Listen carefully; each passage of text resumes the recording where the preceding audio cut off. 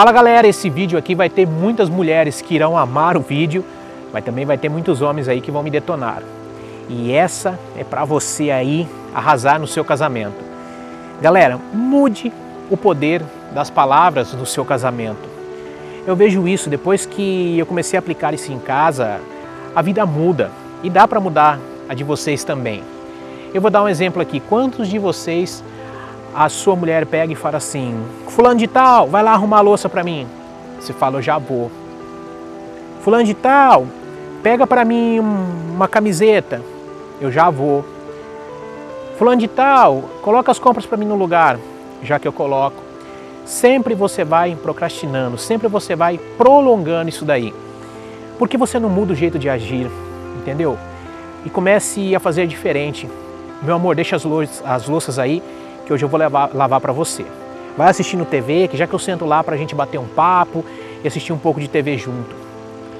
Tá tomando banho, meu amor? Que roupa que você vai usar hoje? Quer que eu pego lá para você? Comece a mudar o sentido das palavras. E você, mulher, você também tem um jeitinho para fazer o homem ficar aí nos seus pés. Um exemplo aqui. Peça para ele de repente buscar um remédio. Ah, já que eu busco, já que eu pego, ele está ali na TV, está no celular, está assistindo Netflix ou está vendo alguma coisa no YouTube aí. Agora imagina, faça diferente. Cheguem, seu marido está sentado ali vendo TV, pulando o canal, na caixinha do nada, né? Porque tem um vídeo no YouTube aí, tem um pastor que fala assim: Você sabia que o homem ele tem a caixinha do nada? E é verdade, né? Tem vezes que a gente está na frente da TV aí, você está ali e a pessoa pergunta para você: O que, que você está fazendo aí? Você fala nada. Você está praticamente em outro planeta e mudando de canal ali e nem aí com a vida. Agora imagina, o seu marido está sentado na frente da TV, você vai perder para uma TV? Para, né? Vai lá, coloca uma roupa mais sexy. E tô falando para todas as mulheres, não tô falando aqui que tem que ter corpão, não. Porque cada um sabe da pessoa que tem em casa e tem que ser valorizada. Faça o seguinte, vai lá, coloque de repente um shortinho mais curto. E aí vai da sua imaginação. O maridão tá sentado ali na TV, senta, vem de frente, encavala mesmo na frente. Fala, desliga essa TV aí. O que você quer fazer hoje? Eu te garanto que tudo que você pedir vai melhorar muito da água para o vinho. Então, tanto o homem quanto a mulher, comece a modificar o jeito de pensar, comece a modificar o jeito de agir. Comece a fazer isso daí, você vai ver como as coisas vão se encaixando bem melhor. Eu sei que é complicado, o homem é muito daquela de chega, vamos ver e não sei o que, vamos lá e pau, a mulher. Eu costumo falar assim, é. A mulher é que nem um carro. Lembra aqueles carros a álcool que você tinha que ir dando partida, aquecer e pisando para o carro ficar bom? E mulher é isso.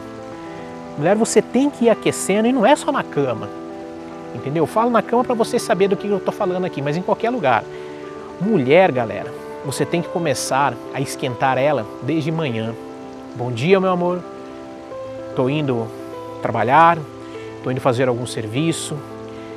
Ou se não, pega uma fruta, um pão, passa uma manteiga, faça na chapa, leve um cafezinho para ela na cama.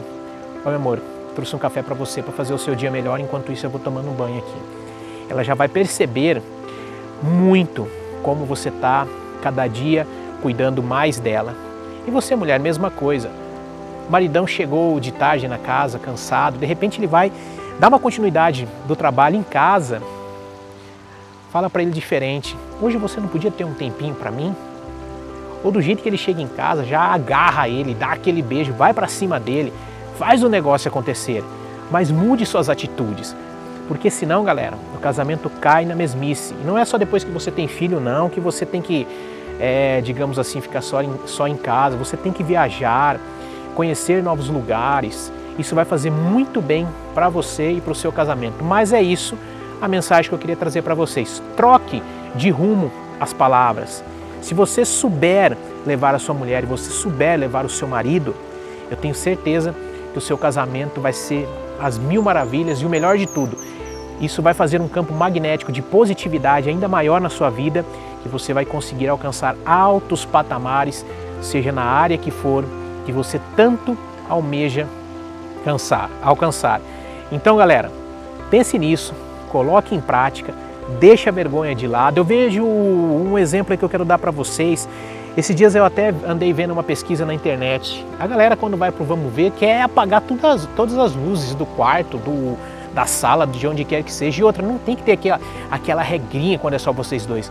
Ah, vamos no quarto, tal, o famoso papai e mamãe e acabou ali. Não, que seja na cozinha, que seja no chão da sala. Mas pare desse negócio, vou apagar todas as luzes. Vocês se conhecem, entendeu? Galera, pensa bem, quanto tempo você de casado aí, que você namorou para sua esposa poder tirar a roupa para você. Antes disso, garanto para você que ela tinha só ficado nua na frente da mãe dela. Então pense bem, a mulher tem que ser tratada como uma joia, mais precisamente como um diamante. E você, mulher, também você tem que tratar aí hum, com muita preciosidade o homem de valor que está do seu lado. Então, galera, pense nisso, aproveite muito a vida dois aí, faça fortalecer o casamento cada dia mais, o seu namoro também, para que depois você tenha um casamento próspero. E galera, vai fazer um amor gostoso aí, para não falar outras palavras, Deixe um pouco da luz acesa, não precisa deixar aquele breu não. Veja o corpo do seu parceiro, da sua parceira, sinta, toque e deixe o clima esquentar aos pouquinhos. É igual as ações nas bolsa, na bolsa de valor, né? É igual o dólar.